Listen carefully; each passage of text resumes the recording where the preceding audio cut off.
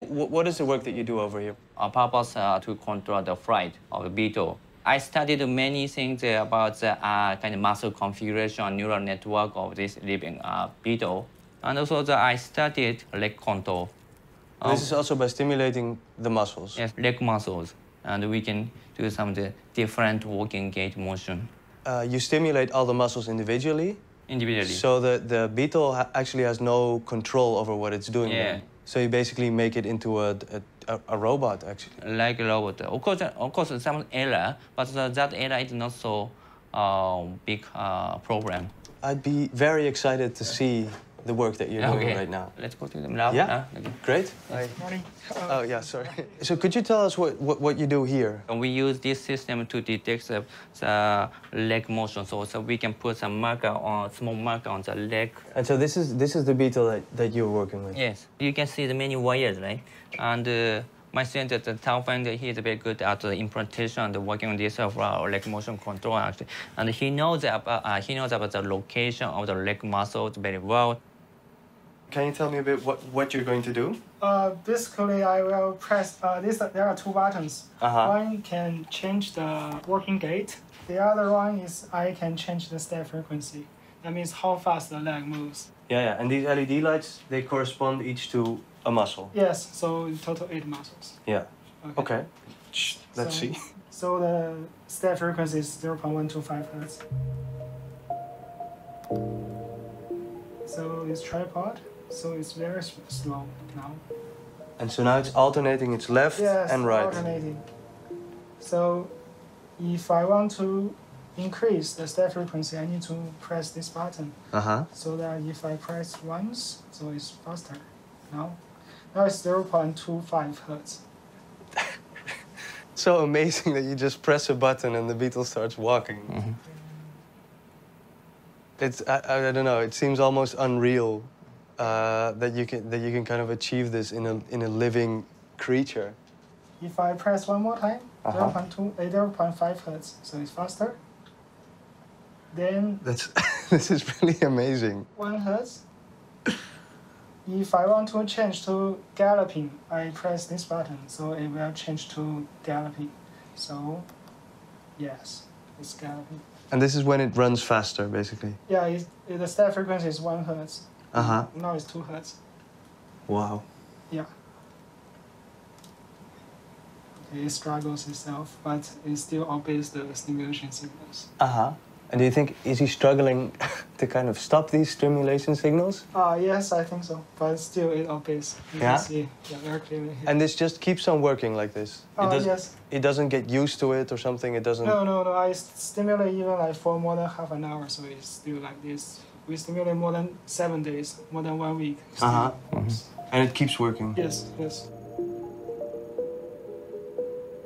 You're putting in electrical signals in, in into the beetle now, hmm but is it using up its own um yeah energy source basically? Is it using the food that it eats to drive the muscles, or are the muscles driven by the electricity? Uh, yes, the food. So you have to feed it to be able to keep Yes, on doing yes, this. Yes, yes. Looking at this thing, it's it's unbelievable actually that that humans can uh, you know take over control over basically over the willpower of this insect because the muscles are being driven by the insect itself. I mean, it has to feed it, it has to eat to be able to move the muscles, and all that they are doing is putting a bit of electrical stimulation into the muscles.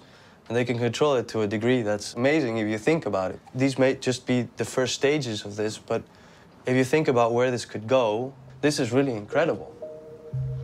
And how, how long would a beetle like this live? The, the, the natural, the regular beetles uh, survive for three months to six months. Even after the implantation, beetle can survive for several months. Uh-huh. We have never seen the beetle died right after the stimulation. So it doesn't, it, it, it, it doesn't really hurt. No, So this is the walking part of the robot, and you're also working on, on the flight, flight control.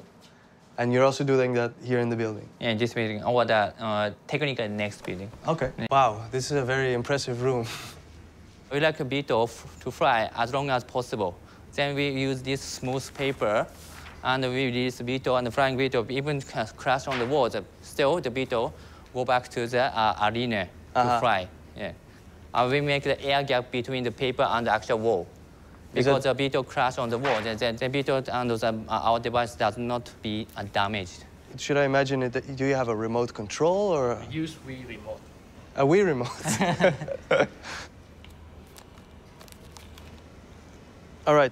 All I gotta do is blow on its back to make its wings go, and then I can control it with this controller by pressing a button and moving it to a side.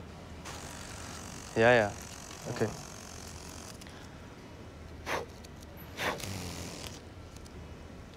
Press the right one. The right. Yeah. Hey, it worked. It went right. Can I try again?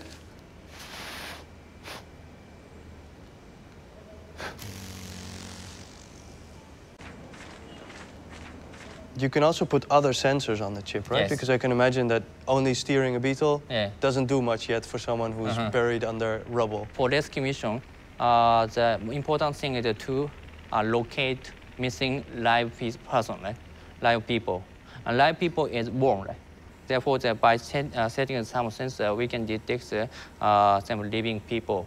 And people can go move, move uh, walking or flying to the, the, uh, the, the heat source of the living people and find the location. That would be very useful. Uh, And do you see other applications as well? preliminary investigation, will find the, some, you know, the terrorist or something, you know. We are very serious to use this type of video for peaceful application to save people and to save the uh, world right, peacefully. Yeah. I think the most fascinating thing that I've learned over these past few days is that technology and nature are creeping more and more together, and that we might be heading towards a future where technology and nature might become indistinguishable.